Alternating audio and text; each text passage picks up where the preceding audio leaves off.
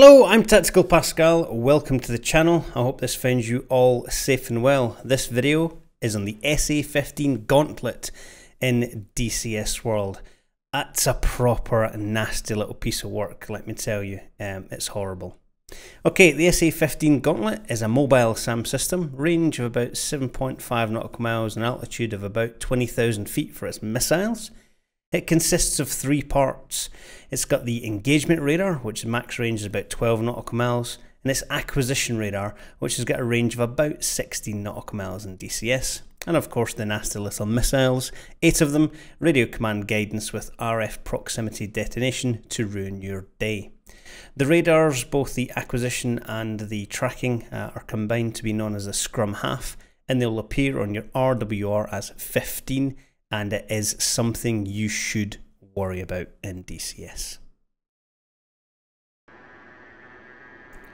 Now, if you're carrying harms, the SA-15 can be destroyed at range if you fire a multiple at it, because of course, being an SA-15, um, its missiles are designed to take down cruise missiles initially, um, so it's going to have no problem with your harms, so you need to fire a few harms at it to actually get the job done.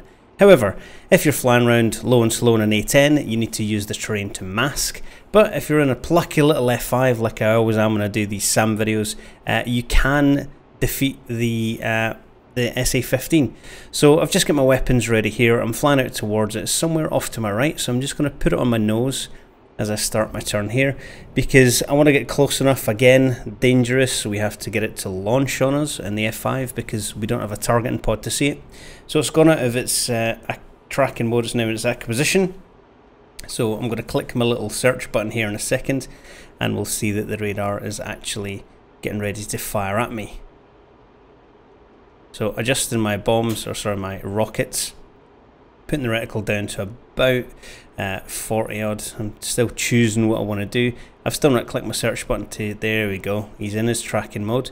So off to the right there, maybe somewhere near that smoke or the river bend, somewhere up ahead there. So we're still waiting on this little launch happening. So there he goes. I caught sight of it just at the edge of that green field. So I'm going to initiate a little turn and dive away. Right, look back over. There he is.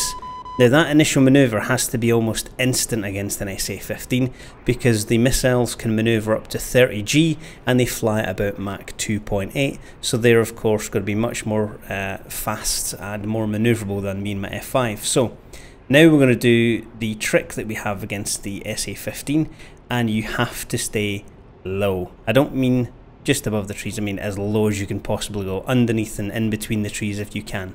So we're still shaded behind this little hill. Um, we're in the lee of the hill rather, not shaded behind the hill. Bright sunshine.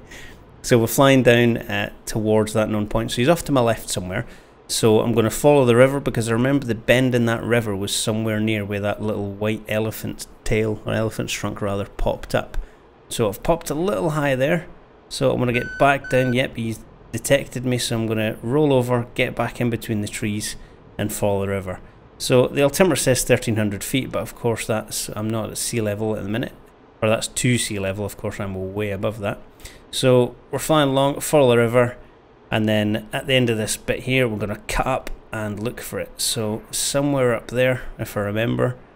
So I'm going to fly along, stay low, use the trees and the terrain for masking, even though we're pretty much in the open now. So we're beneath the trees.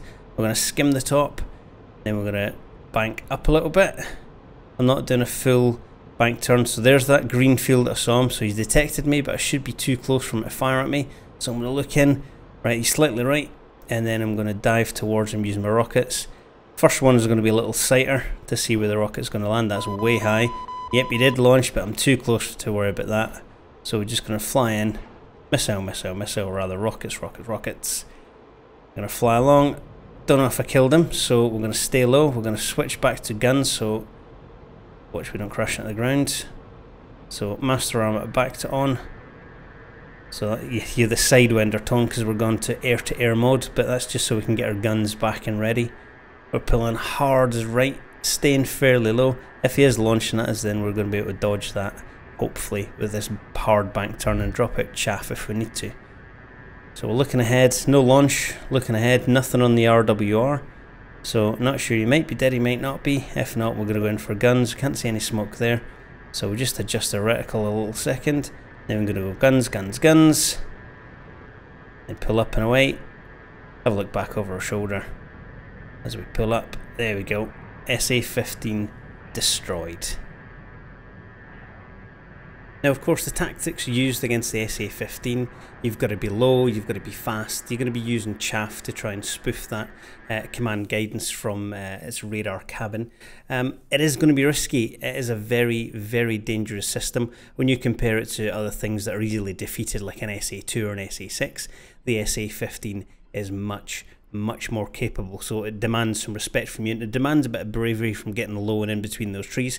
Of course, if you've got Mavericks or Harms, by all means take the high ground and fire it from long range and never get shot at. If you're in the F5, a Harrier or an A10, you're going to have to get crafty and get in between those hills. That's pretty much it on the SA-15. Uh, like I said, it is dangerous. It's one of the uh, hardest systems to defeat if you're in something uh, not quite as capable. Of course, um, thank you for watching and don't forget to hit that like button and subscribe. Thank you very much for everyone who has subscribed so far. 8,000 plus and counting. You guys are awesome. Until next time, Tactical Pascale, out.